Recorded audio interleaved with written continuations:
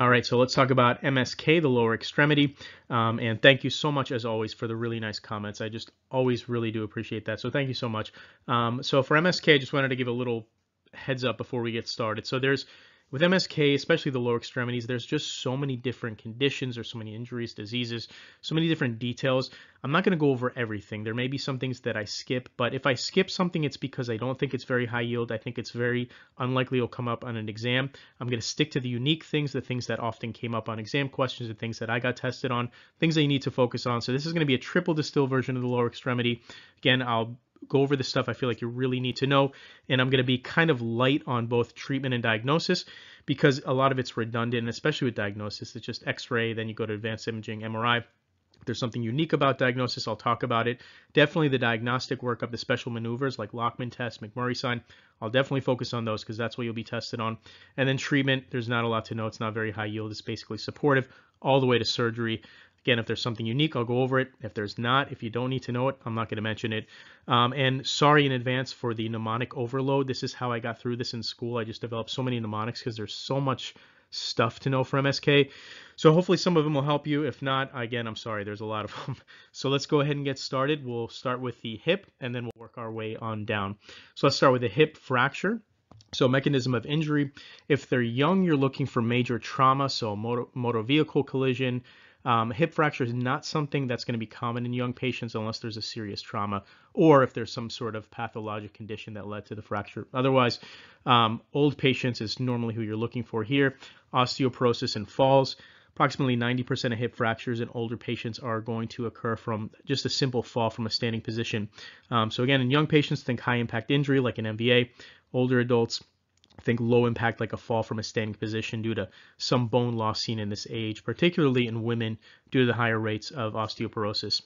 Um, now let's talk about the different types of hip fractures um, depending on the location involved. You have the femoral neck, intertrochanteric fractures, trochanteric fractures. The only one I think you should commit to memory though is the femoral neck fractures because of the risk associated with this type. So with femoral neck fractures, you should be thinking avascular necrosis. You need to know this type is associated with one of the highest risks of avascular necrosis. The blood supply to the femoral neck, it's relatively poor, similar to the scaphoid bone, which we'll go over at some point on the upper extremities. Um, so any trauma to this area, like a fracture, can lead to the disruption of the already tenuous blood supply and can lead to complications like avascular necrosis, which is going to be death of the tissue, the bone, due to insufficient blood supply. So remember, increased risk of avascular necrosis with femoral neck fractures compared to other type of hip fractures. That's the one you should focus on when you're learning about the different types. Now in physical exam, shortened externally rotated lower extremity. So with most displaced hip fractures, most of them are going to present with the leg being externally rotated and shortened. And this is important because with a hip dislocation, it's usually the opposite. So mo with most hip dislocations, you'll see internal rotation and external rotation with the fracture. So internal rotation with the dislocation most of the time. And the way that you can remember this is going to be this. So hip dislocation versus fracture. So in a fracture, again, most of the time you're going to see external rotation. Again, it's not 100%, nothing's 100% medicine, but most of the time with a fracture externally rotated, fracture has an E, but it does not have an I. So the E, remember, externally rotated. Hip dislocation usually is going to be internally rotated. Dislocation has an I, but it does not have an E. So that helps you remember when you see a fracture, only has an E, think externally rotated. When you see a dislocation, think internally rotated. So that's how you remember the presentation on the physical exam for a hip fracture. Treatment, um, is surgical in most cases ORIF, which stands for open reduction with internal fixation, um, versus another option, which would be um, arthroplasty. Again, don't focus too much on treatment. This will likely not be what you're going to be tested on. Um, so yeah, again, that's just surgical. And let's talk about hip dislocation. So really just a few things to know for hip dislocations. Mechanism of injury, you're thinking large force trauma as your most common cause.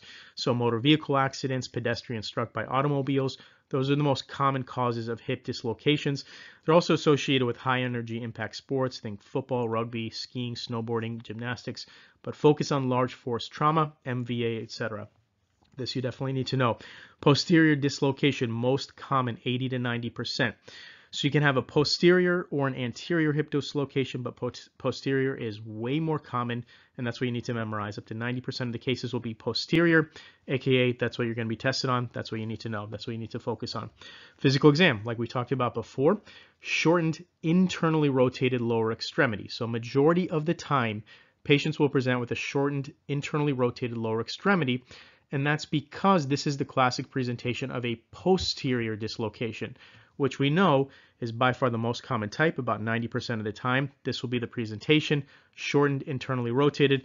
Um, anterior dislocation will generally be externally rotated, but who cares? Do not memorize that. If you see a hip dislocation, be thinking internal rotation.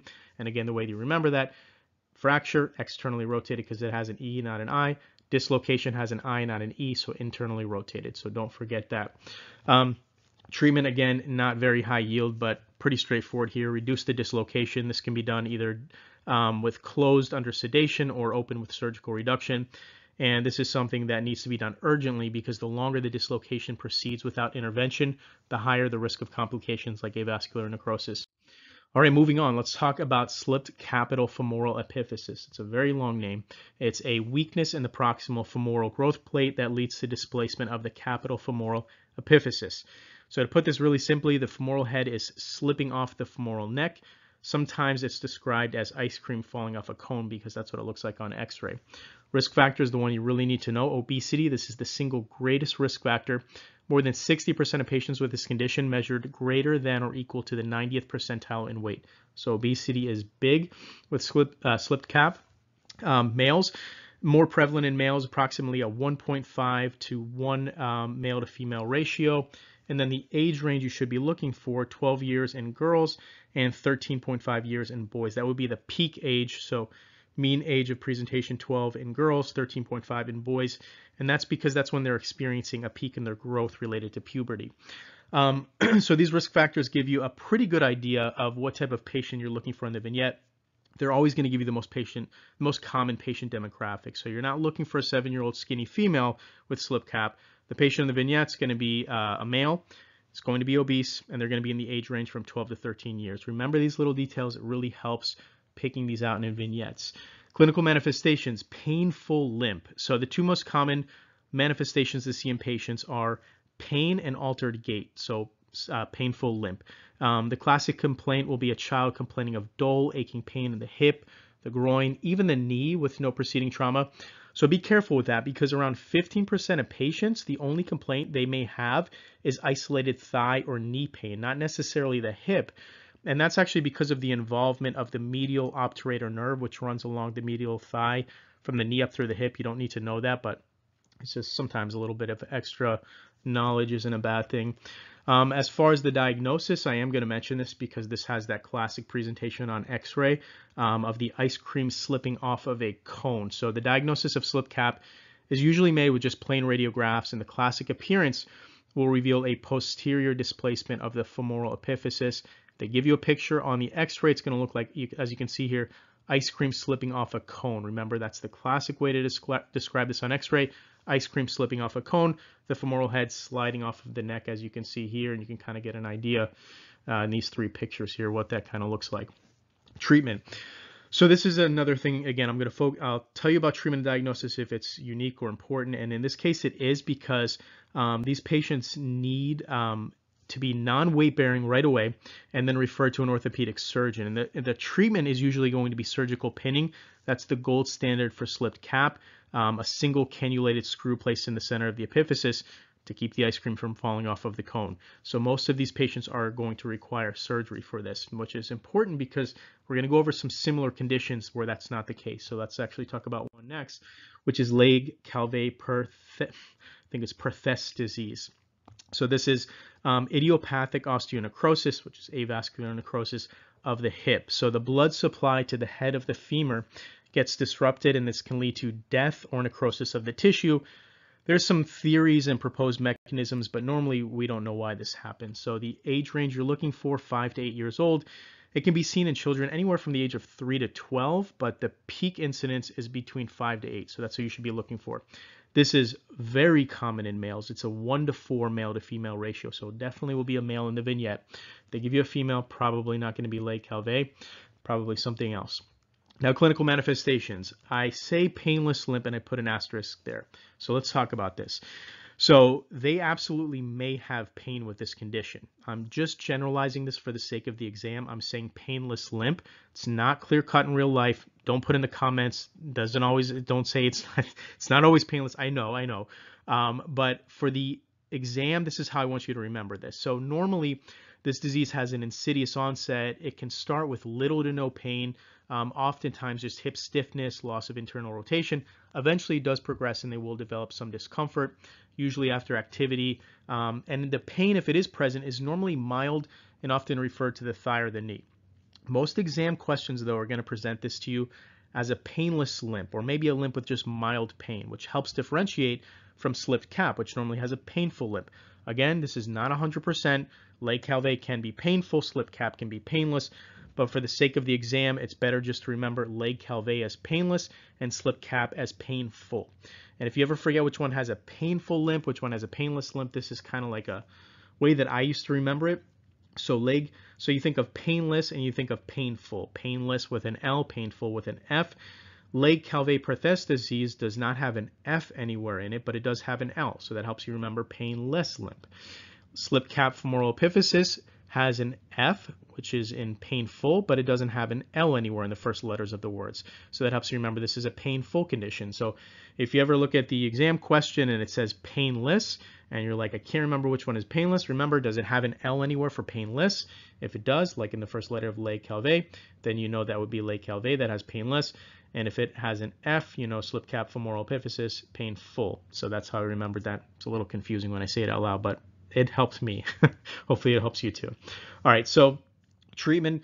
This is important because it's different than slipped cap. Again, they're going to give you these on an exam and they're going to have both and you need to be able to differentiate. So with Legg-Calvé, treatment is generally observation. So most cases, the treatment for Legg-Calvé is observation with non-weight bearing physical therapy. Around 60 to 70% of hips affected heal spontaneously without any functional impairment. So while surgery is an option, it's not as common and it's mostly reserved for older children, generally over eight, whereas younger patients typically don't benefit from surgery. So Legg-Calvé and slip cap have a lot of similar sim, similarities, and sometimes it's hard to differentiate between the two on the exam question. And you'll get a question about one of these on the exam. So let's go over the key differences. So I made a little chart here.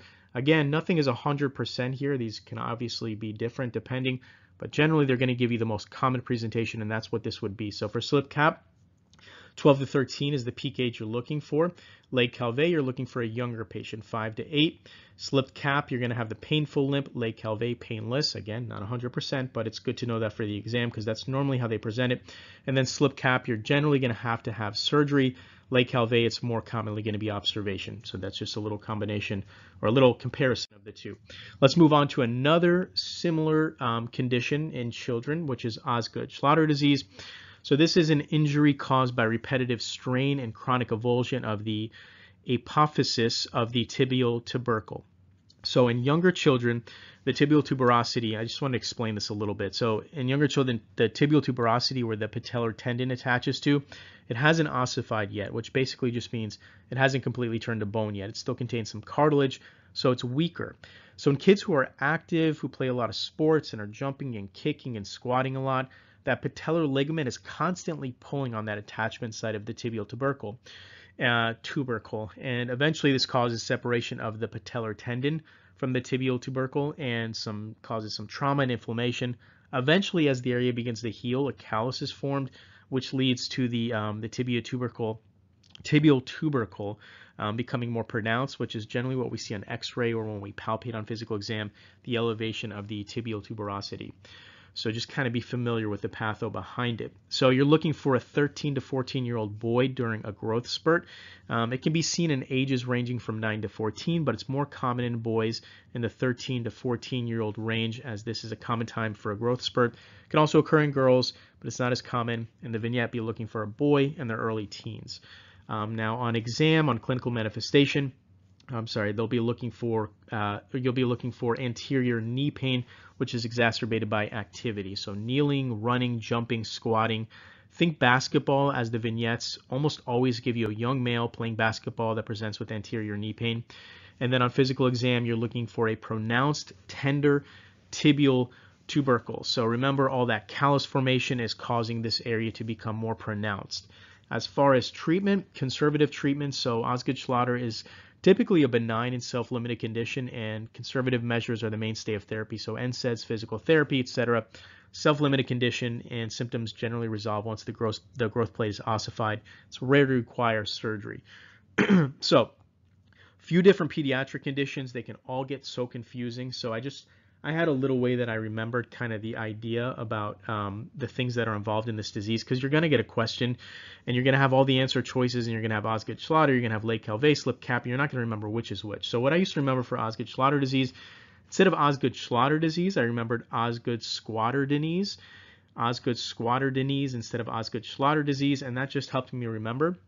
Normally the presentation, they're going to say they were squatting or bending down or playing some sports where they were kind of like kneeling down. So that's where you get the squatter from.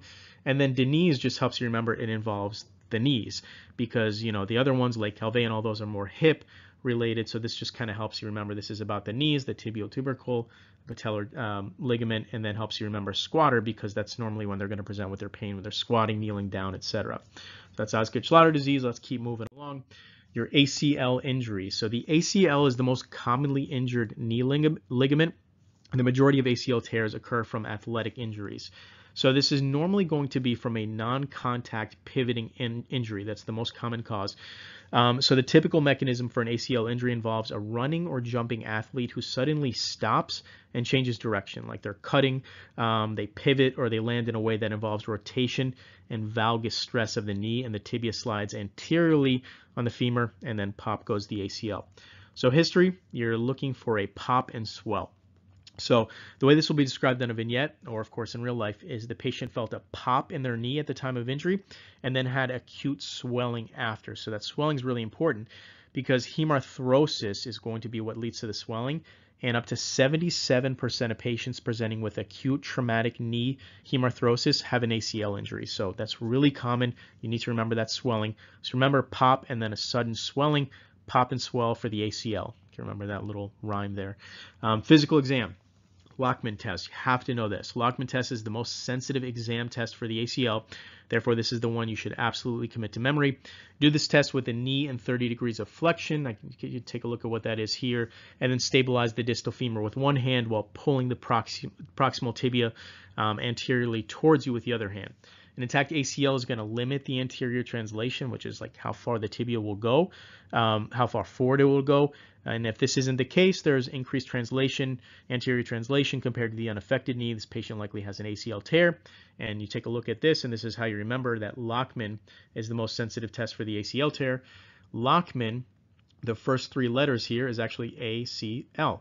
So the first three letters of Lachman, ACL, is ACL rearranged. So as soon as you see Lachman on the answer choices and it says something about ACL, you can remember ACL is in the name Lachman, which is so nice and convenient, and that'll help you remember that on the exam. So remember, Lachman is the most sensitive test for the ACL, te the ACL tear, and ACL is in the name Lachman, the first three letters. Okay, treatment. So treatment is going to be um, individualized to each each patient. Um, most active younger patients and athletes will opt for surgical re, um, reconstruction Older patients may go the conservative route with physical therapy, etc. So conservative versus surgical repair. So two things I memorized for ACL tear, ACL tear, the pop and swell for the ACL, the pop felt in the knee followed by the hemarthrosis causing the swelling, and then remember Lachman test, best physical exam test, Lachman ACL rearranged, the first three letters. Let's go and onto our posterior cruciate ligament injury. Very little to know here. It's not very high yield. Um, it's rare to see this as an isolated injury. Isolated PCL injuries are really uncommon. It's usually going to be in combination with other multi-ligament trauma to the knee. So the, the mechanism they should be looking for is a direct blow to the proximal tibia with a flex knee, which is like a classic dashboard injury. So Main cause of PCL injury is a high energy trauma, most often involving most often involving motor vehicle collisions. Um, second most common cause would be sporting related activities, but focus on the the MVA, the direct blow to the proximal tibia with the flex knee when it hits the dashboard. The physical exam test you should know is the posterior drawer test. So there's a few different physical exam maneuvers for a PCL tear, but the posterior drawer test is generally considered the most accurate maneuver for di diagnosing PCL injury, and that's the one you should know. So knee at 90 degrees of flexion, wrap both hands around the, the patient's proximal tibia, um, normally sitting on the foot to keep the leg fixated, and then apply a posteriorly directed force to the proximal tibia. So you push back on the tibia with a, with the knee flexed. Increased posterior tibial dis displacement compared to the uninvolved leg suggests a tear of the uh, PCL. Of course, you're going to do your MRI to confirm. Um, and then as far as treatment, conservative again versus surgical. Um, nothing really specific to know here. One thing it's it's really surprising that um, some individuals with this type of injury, especially like well-trained athletes, um, can actually be completely fine with this with no treatment at all. So they found 2% of all college football players that were presenting for the NFL draft um, when they had their physical exam done prior to the NFL draft, 2% of the players actually had an asymptomatic PCL tear. So they were playing football with this tear and didn't even know it. So a lot of times people can be fine without surgery or treatment. Um, obviously, if you're you know playing sports, so you probably should have it, or you're young, you should have it repaired. So PCL ligament injury, not much to know there. Let's move on to our medial collateral ligament injury. Um, so this is caused by valgus force to the lateral aspect of the knee. So there's really two mechanisms of injury we'll see with an MCL injury, either from direct valgus stress from a blow to the lateral aspect of the knee, or via indirect stress, like the foot gets caught on the floor while the athlete is trying to change direction quickly. The key is that valgus stress. Whatever the cause, something caused the knee to be pushed inward, valgus stress, that's what you need to remember. And then your physical exam test is going to be a positive valgus stress test. So the diagnosis of um, an MCL injury is often made clinically based just on the history, the clinical presentation, and then the ex exam findings on the valgus stress test. And the physical exam you need to know is this valgus stress test. So you do this with a um, with a knee at both 30 degrees of flexion and zero degrees of extension, and you apply valgus stress and look for um, laxity of the joint and pain. And you feel how much the, the medial joint line widens. So you need to remember your positive valgus stress test is associated with a MCL injury. The way that I used to remember the MCL versus the LCL tears and the um, the test and the type of stress that was um, associated with both. So this is how I remembered it. Hopefully this makes sense to you. If not, I apologize, but I'm going to waste your time here with this. So MCL tear, valgus stress, LCL tear, varus stress. So I used to remember um, valgus, valgus stress. They used to help me remember um, or valgus stress. It used to help me remember mucho gusto. So in valgus, gusto, and then mucho gusto. So valgus stress, mucho gusto, because gus and gusto, the mucho helped me remember the M in MCL. I apologize for my terrible accent on this, but um, and then mucho gusto stands for nice to meet you in English, and that's because the knees are being flexed and bent inward and they're like meeting in the middle, or it even looks like they're saying like nice to meet you. They're like meeting in the middle. So MCL tear, valgus stress, gusto. The M stands for mucho, mucho gusto, MCL, valgus stress. Nice to meet you because they're meeting in the middle. And then LCL tear is varus stress. And then I used to remember rus as in rust and then L as in leaky. So leaky pipes rust helped me remember varus stress is um, LCL tear. So that's how I remember the two. I don't know how much sense that actually makes when I say it out loud, but if, I never forgot that for many years. So let's talk about lateral collateral ligament injury. Next, LCL injury. So this occurs due to a sudden varus force to the knee. These are among the least common knee injuries, um, but they can occur when the knee joint is struck from the inside, so varus stress. And it's really rare to have this as an isolated injury. It's more common to be in combination with other um, other injuries as well. So just like we just went over, the physical exam test is going to be a positive varus stress test. So again, you do this at both 30 degrees of flexion and 0 degrees of full extension while applying varus stress. And then we know the way we remember valgus first varus, varus, rust, leaky pipes rust, LCL tear, MCL tear, valgus stress, mucho gusto, knees are meeting together. And then by method of exclusion, you remember if mucho gusto means nice to meet you and the knees are meeting together, varus is the opposite. And you remember leaky pipes rust, varus stress. Okay, so let's keep moving on. There's not much to know for those, so just a couple things. Let's talk about meniscal injury. So acute meniscal tears um, often occur from twisting injuries. So they normally happen when a person quickly changes direction while rotating or twisting the knee, when the foot is planted. Um, in older older adults, we um, see chronic degenerative tears, and these can occur with minimal twisting or stress, in some cases, no trauma at all. But in general, be thinking of some sort of twisting of the leg in the vignette. Now, clinical manifestations, I want you to remember pop, lock, and drop. So pop, lock, and drop it. Um, so when you think of meniscal tears, pop, lock, and drop is the most common clinical manifestations. So patients with untreated meniscal tears are going to complain of the knee popping, locking where they can't fully extend the knee, and then sometimes the knee just giving out where they drop because the knee just gave way. So remember meniscal, meniscal tears, pop, lock, and drop it. And then physical exam, Joint line tenderness is actually the most sensitive physical exam finding, but it's non-specific because it can be caused by so many other things. So the physical exam test you need to know about, it's the most commonly tested on, is going to be the McMurray's test.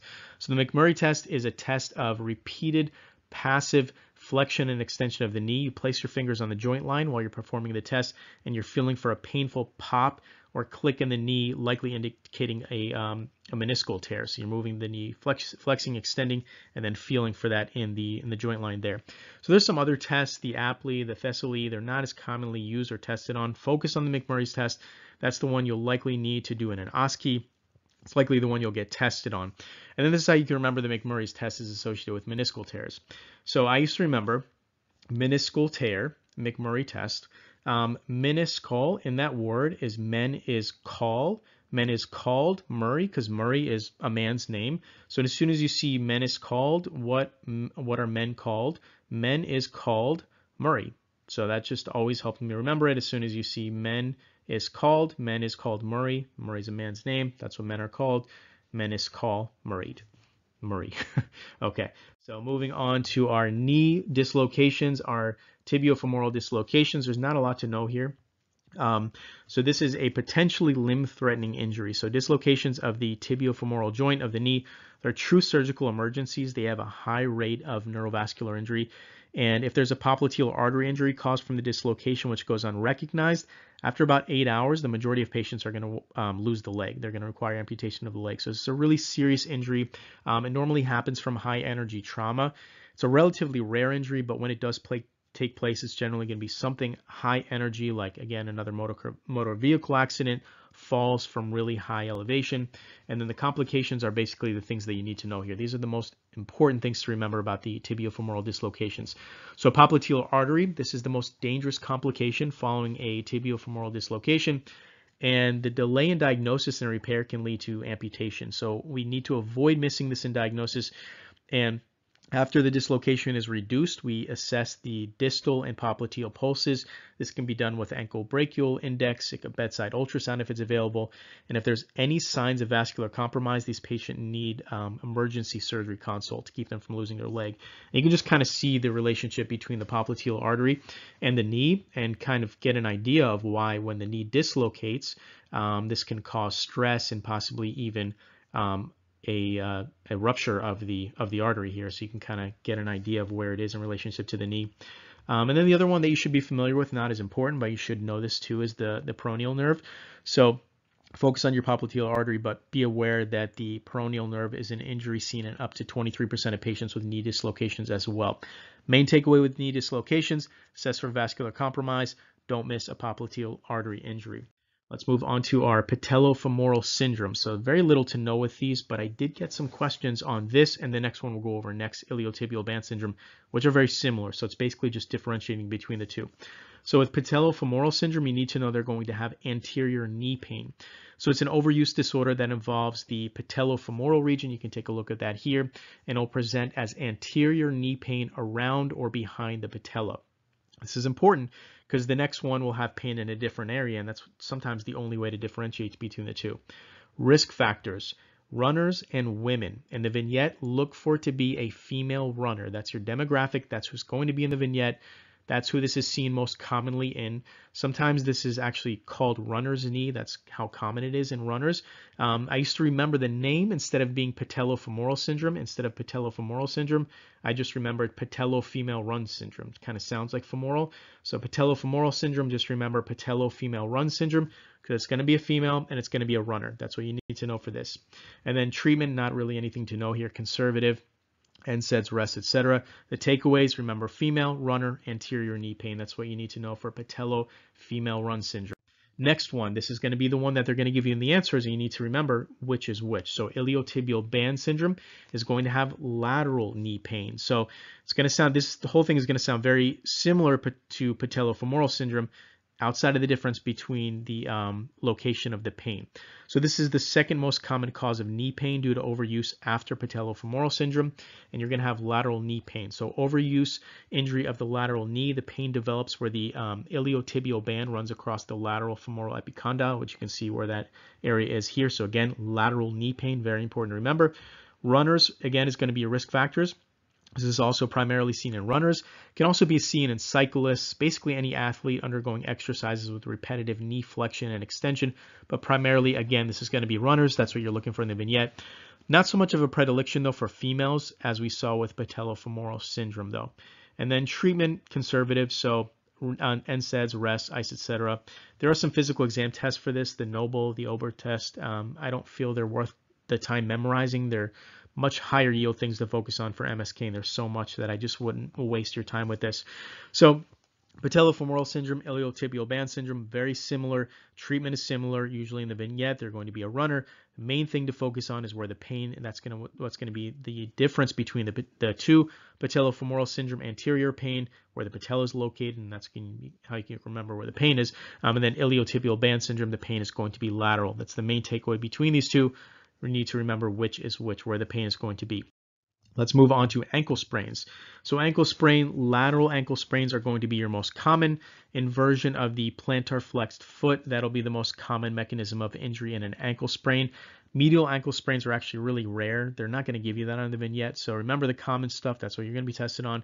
It'll be a lateral ankle lateral ankle sprain, which is involved in 70 to 90% of all sport-related ankle sprains. And the ligament that will most commonly be injured in the vignette is going to be your anterior talofibular ligament. So this is the ligament that is injured in the majority of ankle sprains, 73% of ankle sprains. So know this one. There's obviously other ligaments that can be injured, but this is the one that you need to commit to memory. Um, the way that I used to remember that is the anterior talofibular ligament is also known as the ATF ligament. And in your mind, what you need to remember is ATF ligament stands for always tears first, because this is the most common ligament um, in an ankle injury to be injured. So remember, anterior talofibular fibular ligament, also known as the ATF ligament. ATF in your mind stands for always tears first. That's what they're going to give you on the vignette. This is the question I got. This is the question you're going to get. They're going to ask you which ligament likely um, had a tear in this patient. It's going to be the ATF ligament. Um, and then you can take a look at where the ATF ligament here is in the ankle just to get an idea. Now let's talk about the Ottawa ankle rules. Um, so the Ottawa ankle rules are very sensitive for excluding ankle fractures and determining whether or not you need x-rays of the ankle or midfoot. Um, 96 to 99% sensitive. Um, they're very much common sense though. Basically it states if you can walk after the injury and you're not tender in your ankle or your midfoot, this is probably a sprain and you probably don't need an x-ray. So again, very common sense, but let's just talk about what these specific guidelines are. So if you are unable to bear weight immediately after the injury, and for four steps in the office or the ER, wherever you're being seen, plus you have tenderness at the posterior edge or the tip of the lateral um, or medial malleolus, then you need an ankle x-ray. It's likely not a sprain and more likely a fracture and you need an x-ray. Or if you are unable to bear weight both immediately after the injury and for four steps in the office slash ER, and you have tenderness at the base of the fifth metatarsal or at the navicular, you need a foot x-ray. So nothing um, really difficult to know here. This is basically just indicating whether or not this is likely a sprain um, or whether it's more likely to be a fracture and you need an x-ray and just kind of understanding which x-ray you're going to order depending on where they have pain. Is it going to be a foot or an ankle x-ray? Um, nothing to know for the treatment of a sprain. It's just ice elevation NSAIDs. Um, for ankle sprains, if you get a question, very likely it will be about the anterior talofibular ligament. So if you only remember one thing about ankle sprains, remember the ATF ligament always tears first. Talk about Achilles tendon rupture next. Really just two things that I would know for this. Risk factors, fluoroquinolones. So fluoroquinolones can put patients at an increased risk for tendon rupture. Is it common? No. In a large case control study, only about 12 patients in 100,000 actually had this. But just because something isn't common in real life, it doesn't mean it's not a common exam question. And this one's a favorite for exam questions. So know it um, another common cause is going to be uh, sports-related injury. Actually, over 80% of ruptures occurred during recreational sports, uh, particularly stop-and-go sports such as tennis, basketball, softball. But for the exam, really focus on them giving you some history of fluoroquinolones. That's what they like to ask for whatever reason. Um, no need to focus on the clinical manifestations. They're pretty common sense. Basically, they're going to describe a pop and some uh, sudden severe pain in the posterior ankle. What you do need to know is the Thompson test. So definitely be familiar with this. And to do the test, the patient lies prone and um, you're going to have their feet dangling off the table. You squeeze the calf, which is the gastrocnemius muscle, and then you watch for plantar flexion of the foot. The absence of plantar flexion will mark a positive test, which is indicative of a rupture. This is an important test because other indicators of Achilles tendon rupture aren't always accurate. For instance, you can ask somebody to plantar flex their foot, and it's not always an accurate way to assist in diagnosis because you can actually plantar flex your foot using accessory muscles like the tibialis posterior. So always perform the Thompson test in a suspected Achilles tendon rupture. Squeeze that calf. So the diagnosis of rupture can be made solely on the clinical exam, but you can get an MRI or even an ultrasound actually to confirm. And the treatment can range from splinting all the way to surgical repair. Not important. Two things you need to know for Achilles tendon rupture, fluoroquinolones, and know the Thompson test. Let's talk about plantar fasciitis. Not very high yield here, but it does come up occasionally. So just know that this is a chronic overuse that leads to micro tears and inflammation in the origin of the plantar fascia. Um, and it's going to lead to heel pain that is worse with their first few steps in the morning or after a period of inactivity. That's what you're looking for in the vignette. They're going to describe some kind of heel pain when they first wake up in the morning. That's normally how it's going to be presented. Um, and then so you can just take a look where the um, plantar fascia is there. This is mainly a clinical diagnosis. X-rays would really just to be a rule out rule out some differentials like a calcaneal stress fracture, for instance, but nothing really to know for imaging or lab tests. And then treatment is pretty low yield, it's just conservative. Um, stretching exercises for the plantar fascia, the calf muscle, um, silicone heel shoe inserts, NSAIDs. You can do corticosteroid injections. Not really very much to know there. Let's talk about interdigital or Morton's neuroma. So this is a compressive neuropathy of the interdigital nerve that leads to plantar forefoot pain. So basically, there's something squeezing the foot, causing the metatarsals to squeeze together and put pressure on the nerve between the two structures, which leads to a proliferation and benign growth of the nerve tissue. And this can lead to numbness, burning, etc. in the foot. Who you're looking for is going to be women and um, women wearing tight fitting shoes, high heels. So the vignette, they're absolutely going to be female. This is five times more likely in females than males um, to develop a Morton neuroma.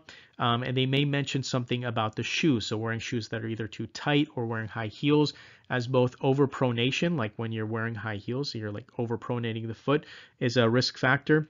And then wearing tight shoes are also both associated with the condition. You're going to look for a burning pain, most common in the third intermetatarsal space. So a patient with a neuroma will most commonly complain of this burning pain in the third intermetatarsal space. So that's what they're going to give you um, in between the third and the fourth distal metatarsals. This is a clinical diagnosis for the most part. Can use ultrasound to actually visualize the neuroma. Usually it's not necessary. There's nothing you need to really know for treatment either. It's mainly conservative, metatarsal support, padded shoe insert, specialized orthotic shoes and not wearing the shoes that were causing the problem um, in the first place.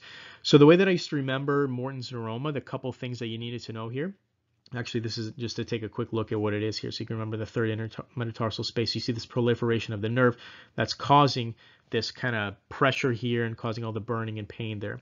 Um, so the way that I remember the couple things you need to remember it. Um, so as soon as I'd see Morton's neuroma, I would think of this M, and then I think of first turning the M to the side. And when you turn an M to the side, it looks like a 3. That helped me remember the third intermetatarsal space is the most common place for the burning um, pain that they're going to have.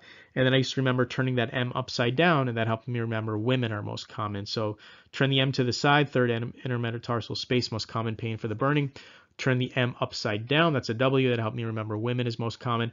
I also used to think that this, when you turn the M upside down, it kind of looks like two heels, which helped me remember that high heels can sometimes be in the vignette as the cause of the the Morton's neuroma in the first place, but I don't know if that works for you or not. So Morton's neuroma, remember, turn it to the side, third intermetatarsal space, upside down W because it's most common in women.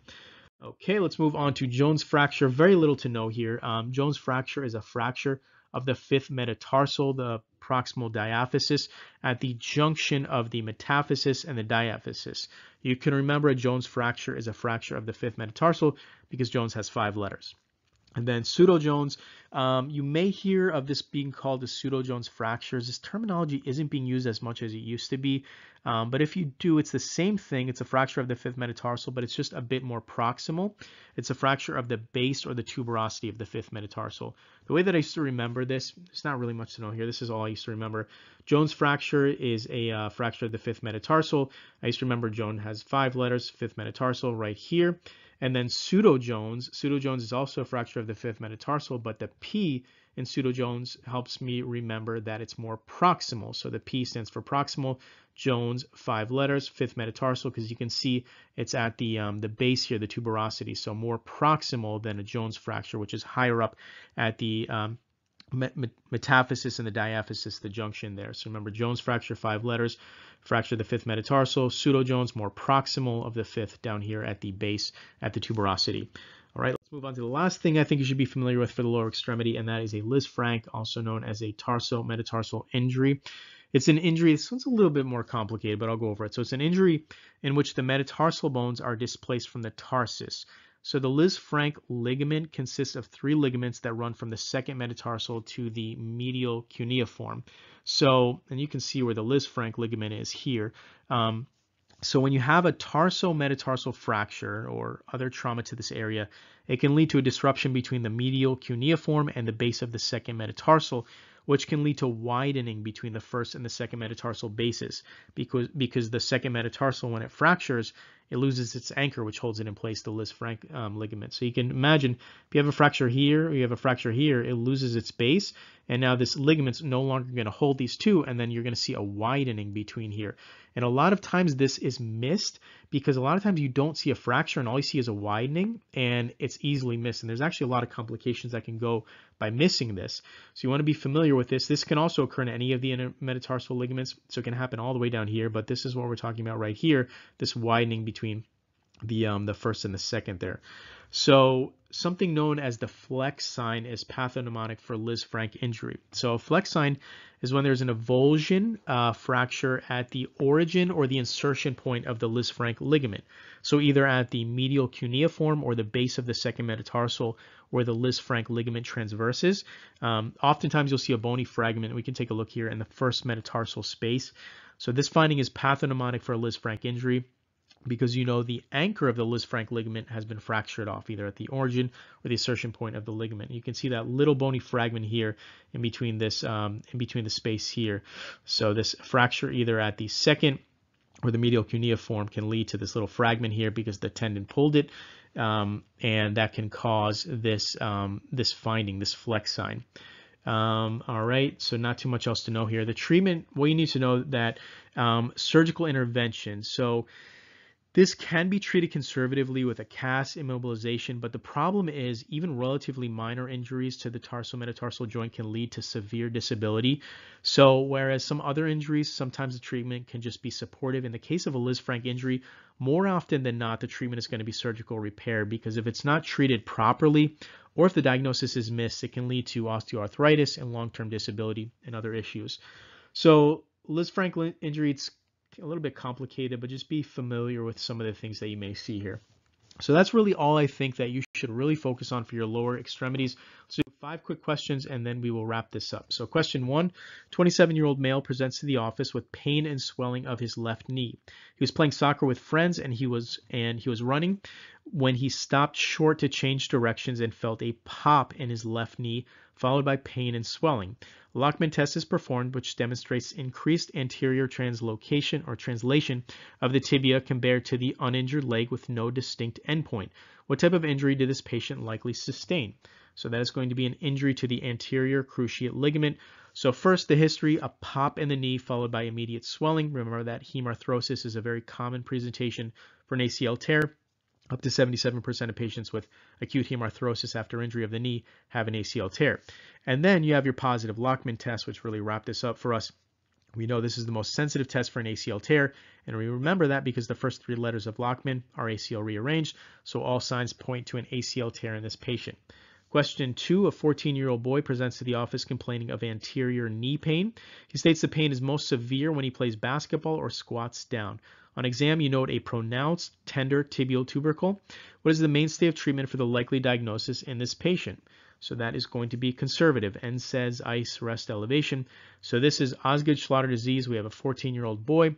Fits the demographics already as Osgood-Schlatter is most common in males in the 9 to 14-year-old age range. Peak incidence in boys, as we talked about before, is 13 to 14 years when they're going through a growth spurt. Pain exacerbated when squatting, jumping, etc when he's playing sports, all very typical. And then an exam, the pronounced tibial uh, tender tibial tubercle, which seals the deal. As we know, this is an injury caused by rep repetitive strain and chronic avulsion of the apophysis of the tibial tubercle. Mainstay of treatment for Osgood-Schlatter disease is a conservative. Um, and you can remember, again, instead of Osgood-Schlatter disease, remember Osgood-Squatter Denise. Helps you remember it's exacerbated by activities like squatting, and Denise helps you remember this is an issue with the knees. Question three, what is the most common ligament to injure in an ankle sprain? So that is going to be your anterior talofibular, also known as your ATF ligament. Remember, your ATF ligament. The ATF ligament in your mind is always going to stand for always tears first because this is the ligament in the ankle most likely to tear in an ankle sprain. Question four, which test is performed as part of the physical exam in a suspected Achilles tendon rupture that involves squeezing the gastrocnemius muscle and watching for plantar flexion of the foot? That is going to be a Thompson test. You squeeze the calf, looks, look to see if the, the foot plantar flexes. If not, this is a positive test indicating likely an Achilles tendon rupture. Question five, a 31 year old male was playing football with his friends when one of his friends landed on the lateral aspect of his right knee in an attempt to tackle him. He immediately felt a tearing sensation, which was followed by severe pain. A valgus stress test is performed, which displays pain and laxity at approximately 30 degrees of flexion. What structure of the knee did this patient likely injure? So that is going to be your um, I put medical, but this is your uh, medial collateral ligament.